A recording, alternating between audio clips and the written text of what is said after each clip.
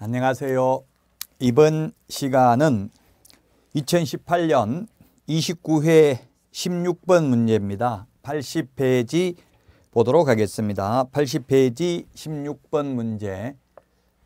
기출문제가 중요하다고 했죠. 이 기출문제 범위 내에서 응용을 해서 출제하니까 기출문제만 다 풀 수 있다면 실제 시험에서도 모든 과목 전부 다 80점은 받을 수 있을 것입니다. 자, 16번입니다. 사무소 이전인데 등록관청 관할구역 밖으로 이전을 하는 경우 설명으로 틀린 것입니다.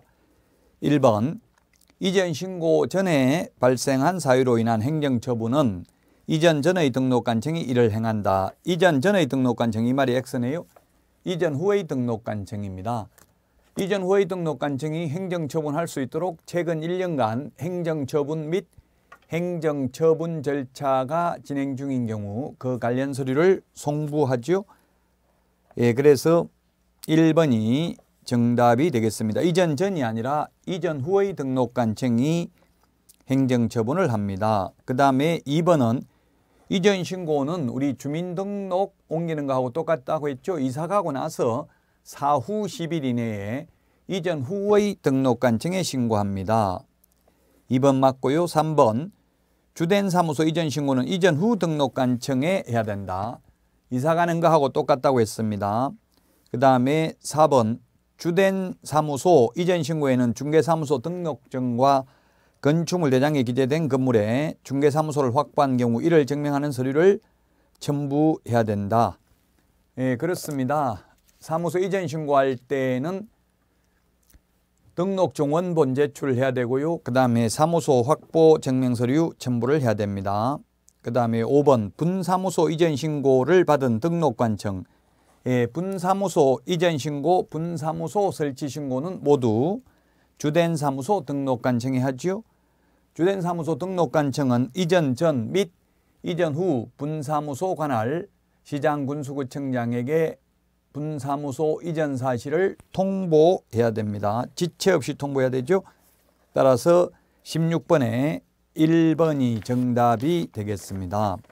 사무소 이전 절차 우리 암기 프린터는 18번에 보면은 맨 밑에 있습니다. 18번 맨 밑에 까만 별표에 있죠. 이전 절차는 국토교통부령으로 정하고 있다는 것도 시험에 출제가 됐었습니다. 자, 다음은 17번 문제 보겠습니다. 사무소 명칭 및 표시 광고에 관한 설명으로 옳은 것입니다. 1번 공인중개사는 개설 등록을 하지 않아도 부동산 중개라는 명칭을 사용할 수 있다. 공인중개사 사무소 또는 부동산 중개라는 명칭은 개업 공인중개사가 아닌 자가 사용을 하게 되면 1년 이하의 징역이나 천만 원 이하의 벌금입니다. 그래서 사용할 수 없고요. 2번 공인중개사인 개업공개사가 법령에 따른 5개 광고문을 설치하는 경우 중개사무소 등록증에 표기된 개업공개사의 성명을 표기할 필요가 없다 했는데 간판 실명제죠. 간판에는 달아, 간판을 달아도 되고 안 달아도 됩니다. 그러나 간판을 달면 반드시 성명은 표기를 해야 됩니다. 따라서 2번도 틀렸고요. 3번 법 7638호 부칙 제6조 2항의 개업공개사 옛날에는 소위 중개인이라고 불렀죠. 2006년 1월 30일 전까지는 지금은 줄여서 부칙개공이라 하겠습니다. 이 부칙개공은 자격증이 없기 때문에 공인중개사 사무소라는 문자는 사용할 수 없고요. 부동산 중개라는 표현만 사용할 수 있습니다. 그래서 3번 틀렸고요. 4번 등록관청은 규정을 위반한 사무소 간판의 철거를 명할 수 있으나 법령에 의한 대집행은 할 수 없다 했는데 철거 명령을 했는데 따르지 않는 경우에는 행정 대집행법에 따라 대집행할 수 있습니다. 그 다음에 5번 법인인 개업공개사가 의뢰받은 중개사물에 대하여 법령에 따른 표시 광고를 하는 경우 대표자 성명을 명시할 필요가 없다 했는데 중개대상물 표시 광고할 때는 성명도 명시를 해야 됩니다. 중개대상물 표시 광고할 때는 성명, 소연 등 성명, 소연 등 다섯 가지를 표시해야 되죠. 성명, 사무소 명칭, 소재지, 연락처, 사무소 연락처, 사무소 소재지, 등록번호도 명시를 해야 됩니다. 따라서 3번이 정답이 되겠습니다. 17번에는. 다음은 18번 문제 보겠습니다. 휴업에 관한 설명으로 틀린 것입니다. 기억은 3월 초과 무단 휴업하면 안 됩니다. 초과해서 휴업하고자 하는 경우에는 신고를 해야 됩니다. 3월 초과 휴업하고자 하는 경우 미리 신고해야 되고요. 니은 법령에서 정한 사유를 제외하고는 휴업은 6월을 초과할 수 없다. 법령에서 정한 사유가 징집으로 인한 이병, 치약, 질병으로 인한 요양, 이에 준하는 부득이한 사유가 있으면 6월 초과할 수 없, 있지만 그 외에는 6월을 초과할 수 없다. 맞습니다. 디귿 분사무소는 주된 사무소와 별도로 휴업할 수 없다 했는데 주된 사무소와 별도로 휴업할 수 있습니다. 분사무소만 따로 휴업할 수도 있고 폐업할 수도 있고 분사무소만 업무 정지 당할 수도 있습니다. 리얼의 휴업 신고는 원칙적으로 어, 휴업 개시 후 휴업 종료 전에 해야 된다 했는데 휴업 신고는 미리 해야 됩니다. 휴업 신고, 폐업 신고, 재개 신고, 변경 신고 모두 미리 사전 신고가 되겠습니다. 휴업 개시 후가 아니라 휴업 개시 전에 해야 됩니다. 그 다음에 미음입니다. 휴업기간 변경신고서에는 등록증을 첨부해야 된다 했는데 처음에 휴업신고, 폐업신고는 등록증을 반납해야 됩니다. 그러나 재개신고, 변경신고는 이미 반납되어 있기 때문에 첨부할 수 없습니다. 따라서 5번이 정답이 되겠습니다. 19번 주택임대차보호법에 대한 설명으로 틀린 것입니다. 1번 임차인이 임차주택에 대하여 보증금 반환 청구 소송의 확정 판결에 따라 경매를 신청하는 경우 반대 의무 이행이나 이행의 제공을 집행개시 요건을 하지 않는다. 이 말은 뭐냐면 집을 비워주지 않고도 경매 신청은 할 수 있다는 이야기입니다. 맞는 이야기고요. 그 다음에 2번은 임차권 등기 명령의 집행에 따른 임차권 등기가 끝난 주택을 그 이후에 임차한 임차인은 보증금 중 일정액을 다른 담보물권자보다 우선하여 변제받을 권리가 없다. 왜 그렇습니다. 등기되어 있으면 그 등기되어 있는 사람이 최우선 면제받기 때문에 뒤에 들어온 새로운 세입자는 최우선 면제는 못 받습니다. 여기는 우선 면제라고 되어 있지만 다른 담보물권자보다 우선 면제 이렇게 했기 때문에 이거는 사실상 최우선 면제를 말하는 거죠. 3번 임대차 계약을 체결하려는 자는 임대인의 동의를 받아 확정일자 부여기관에 해당 주택의 확정일자 부여일 정보의 제공을 요청할 수 있다 했는데 임대차 계약을 체결하려는 자는 임대인의 동의를 받아 확정일자 부여기관에 해당 주택의 확정일자 부여일 정보 제공을 요청할 수 있습니다. 예, 그래서 예, 임대차 계약을 체결하는 자는 임차인의 동의를 받았다고 했기 때문에 X죠. 임차인 동의. 임차인 동의가 아니라 임대인 동의를 받아야 됩니다. 임대인 동의. 예, 임대인의 동의를 받아서 이 동의를 받 임, 임대인 동의 받아야 된다는 게 이게 좀 사실은 어렵죠. 임대인들이 동의를 안 해줄 가능성이 높죠. 임대인 동의 받아서 확정일자 부여일 정보 제공을 요청할 수 있습니다. 임대인 동의를 받아야 됩니다. 그래서 3번이 틀렸고요. 4번 임차인이 상속인 없이 사망한 경우 그 주택에서 가정공동생활을 하던 사실상 혼인관계에 있는 자가 임차인의 권리와 의무를 승계한다. 예, 사실혼이 보호받는 것은 우리 시험에 나오는 것 중에서는 주택임대차보호법밖에 없습니다. 상가 건물 임대차 보호법이나 민법에서는 사실혼은 보호받지 못하죠.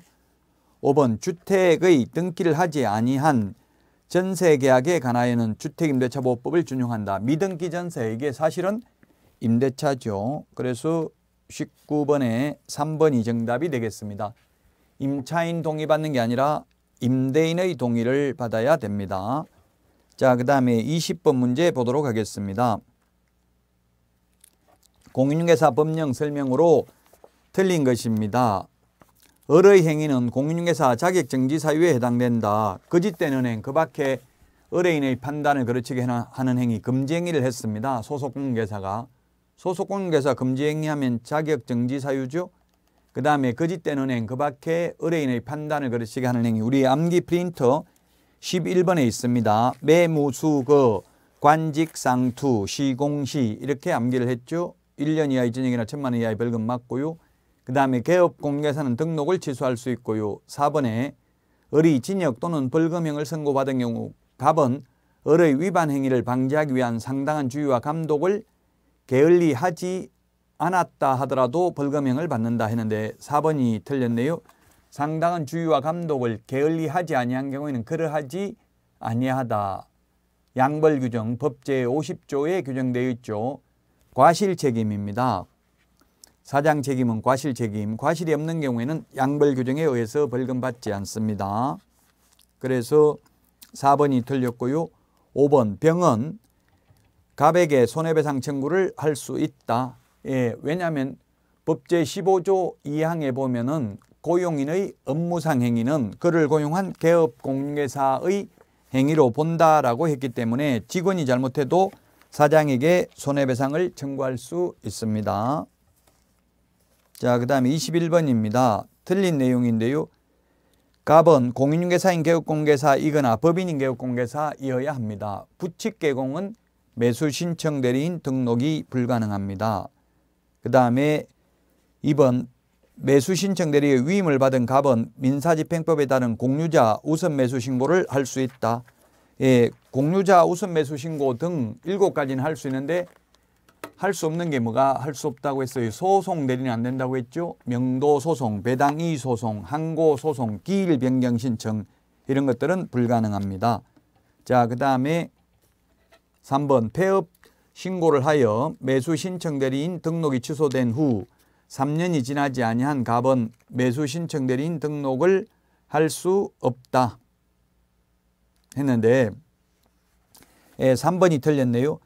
죄지어 가지고 등록 취소된 게 아니라 스스로 폐업 신고를 하여 등록이 취소됐다면 비록 3년 지나지 않았다 하더라도 다시 등록할 수 있습니다. 중개업을 폐업해서 매수 신청 대리인 등록이 취소됐다면 이런 경우에는 3년 지나지 않아도 됩니다. 그 다음에 4번 갑은 공인계사 자격이 취소된 경우 지방법원장은 매수 신청 대리인 등록을 취소해야 됩니다. 왜냐하면 중개업하고 반드시 같이 해야 되는데 자격 취소되면 중개업을 할 수 없기 때문에 매수 신청 대리인 등록도 취소를 해야 됩니다. 그 다음에 5번 갑은 매수 신청 대리권의 범위에 해당하는 대리 행위를 할 때 매각 장소 또는 집행법원에 직접 출석해야 된다. 반드시 개업 공유회사가 출석을 해야 되고요. 법인인 경우에는 대표자가 출석을 해야 됩니다. 따라서 매수 신청 대리 실무 교육은 오직 대표자만 받죠. 예, 대표자만 출석을 하기 때문에 그렇습니다. 3번이 정답이고요. 22번 문제입니다. 틀린 것은 했는데 1번 중개가 완성되어 계약서를 작성하는 때에는 중개사물 확인 설명서를 작성해야 된다. 예, 계약서 작성할 때 확인 설명서 작성해야 됩니다. 2번 갑은 작성된 중개대 상물 확인 설명서를 거래 당사자 모두에게 교부해야 된다. 예, 설명은 취득 의뢰인에게만 설명하면 되지만 설명서 교부는 쌍방에게 해야 됩니다. 그 다음에 3번 중개보수 및 실비 금액과 그 산출 내역을 설명해야 된다. 설명해야 될 내용 우리 암기 프린터 6번에 보면 기권, 가공, 상태, 환지세 이렇게 아홉 가지 암기했죠. 예, 중개보수 산출 내역 설명해야 됩니다. 4번 갑은 임대 의뢰인이 중개대상물의 상태에 관한 자료 요구에 불응한 경우 그 사실을 중개상물 확인 설명서에 기재할 의무가 없다 했는데 불응한 경우는 그 취지를 매수 임차 의뢰인에게 설명하고 설명서 서식에 기재도 해야 됩니다. 4번이 따라서 틀렸네요.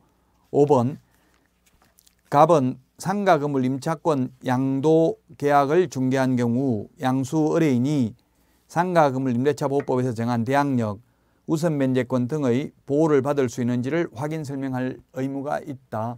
당연, 당연하죠. 권리관계는 설명을 해야 됩니다. 따라서 4번이 정답이 되겠고요. 자, 다음은 23번 문제입니다. 중개 보수와 관련되는 문제가 시험에 두 문제 정도 출제되죠. 계산하는 문제 한 문제, 그 다음에 중개 보수 일반적인 내용 한 문제에서 두 문제 정도 출제됩니다. 1번 중개사물의 권리관계 등의 확인에 소요되는 실비를 받을 수 있다. 이 실비 부담자는 매도, 임대 어린이죠. 그 다음에 2번 다른 약정이 없는 경우 중개보수 지급 시기는 거래 대금 지급이 완료된 날 잔금 치러야 받을 수 있습니다.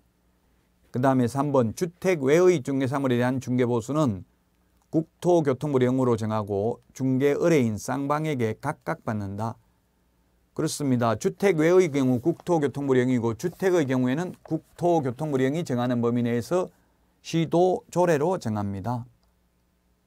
자, 그 다음에 4번 개업 공개사의 고의 또는 가실로 중개 의뢰인 간의 거래 행위가 해제된 경우 중개 보수를 받을 수 없다.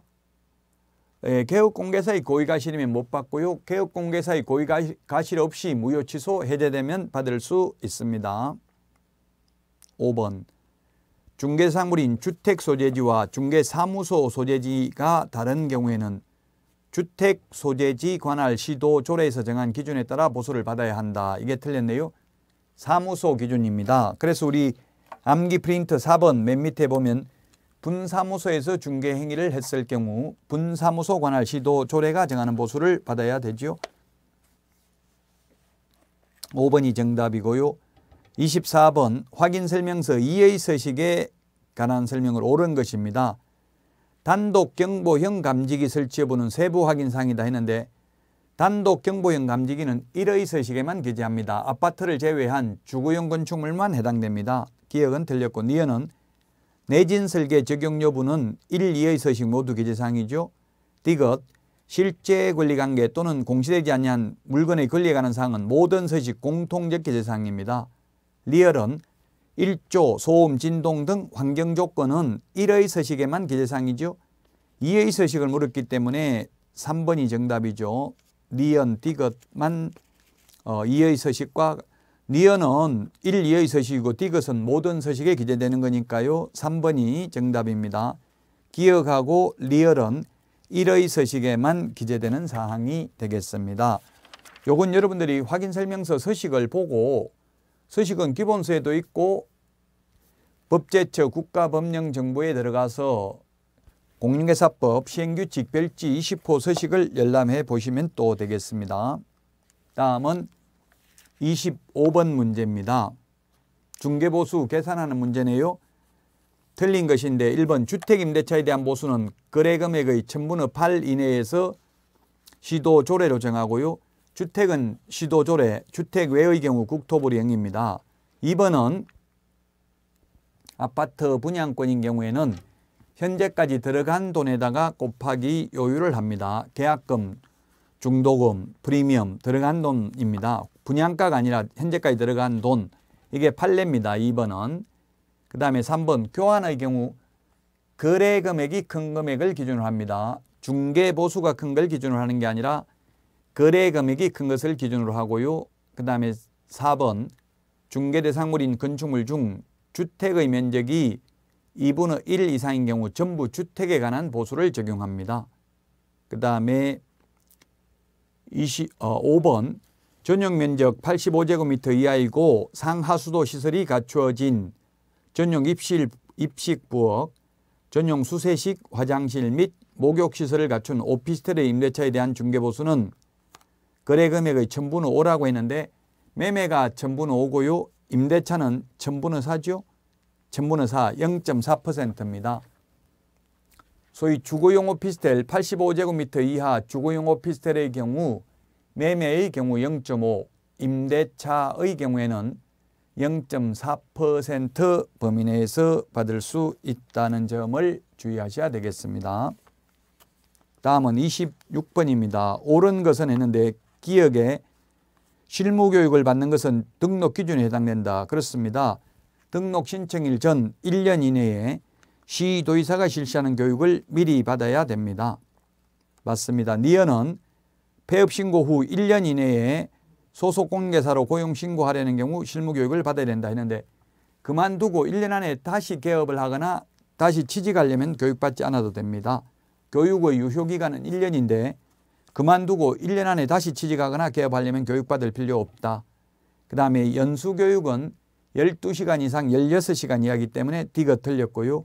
리얼은 연수교육 안 받으면 500만 원 이하이가 되려 맞습니다. 정답은 2번이 되겠습니다. 자 여기까지 하고 쉬었다가 하도록 하겠습니다.